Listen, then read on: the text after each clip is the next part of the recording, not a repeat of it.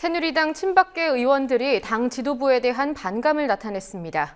당협위원장 교체에 대한 불만이 표면적 이유지만 내부적 개파 갈등의 조짐이라는 해석도 나옵니다.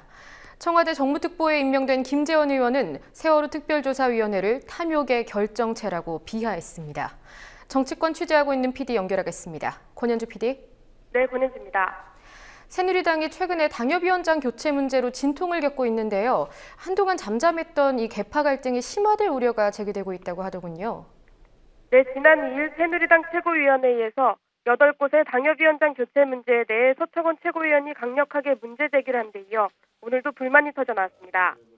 친박계 자장인 서 최고위원은 오늘 최고위원회 직후 기자들과 만나 정당하지 못하게 당협위원장들을 교체하는 건 정치인에게 사형이나 마찬가지라며 노골적으로 당 지도부에 불만을 드러냈습니다.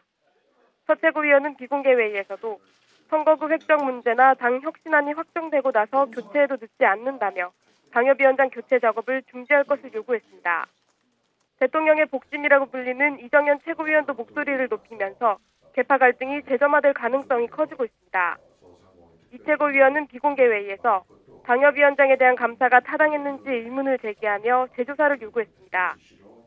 친박 의원들의 반발이 거세지자 새누리당 조직 강화 특위는 다음 주 11일 회의에서 부실 당협위원장으로 거론된 이들에게 소명 기회를 줄지 여부를 검토하겠다고 밝혔습니다. 세월호 특별조사위를 두고 세금 도둑이라고 언급해서 질타를 받았던 김재원 새누리당 의원이 이번에도 또 막말 논란의 주인공이 되고 있다고 하더군요. 네, 새누리당 김재원 의원이 신동아 3월호에서 세월호 특별조사위는 탐욕의 결정체라고 말해 또다시 논란을 일으키고 있습니다. 김 의원은 해당 인터뷰에서 특유의 외부 용역들을 지적하며 불행한 사건에 개입해 나라 예산으로 자신들의 목적을 달성하려는 게 아닌가라며 이같이 말했습니다. 또 김 의원은 조사위에서 회전의자 돌리며 장관 행세하겠다는 게 말이 되냐고 이석태 세월호 특위위원장을 깎아내렸습니다. 청와대 정무특보를 맡은 김 의원의 세월호 특위 편의 발언은 청와대가 국회나 세월호 특위와 소통해야 하는 상황에 좋지 않은 영향을 미칠 것으로 예상됩니다. 한편 세월호 특위는 오늘 상임위원 임명식을 진행하고 공식 행보를 시작했습니다. 세월호 특위는 김 의원 개인의 표현에 일일이 대응하지 않겠다는 입장입니다. 오늘 국회 국방위원회에서는 군 사법제도 개선에 대한 토론이 있었다고 하는데 어떤 얘기가 나왔습니까?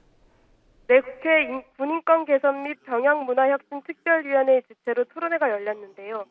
지난해 윤일병 구타 사건과 성추행 범죄 사건 등을 계기로 군사법제도 개선의 필요성이 제기되면서 대책 마련을 위한 자리였습니다. 이 자리에서는 군사법원을 폐지해야 한다는 의견과 군의 특수성을 고려해 개선 운영해야 한다는 입장이 팽팽하게 맞섰습니다. 발제자로 나선 최강욱 변호사는 현재 군사법원이 처리하는 사건 대부분은 교통사고, 성범죄, 폭력 등 일반 범죄라며 군사법원이 존재해야 하는 특별한 이유가 없다고 주장했습니다. 그러나 임천영 국방부 법무관리관은 군은 조직의 성격에 있어 일반 사회와 다른 특수성이 존재한다며 군부대 내 특별법원으로 군사법원을 유지해야 한다고 반박했습니다. 이와 함께 지방법원 내에 군사부를 설치하는 절충안과 일부 군사법원을 종합해 규모를 줄이자는 절충안도 나왔습니다. 지금까지 국민TV 뉴스 권현수입니다.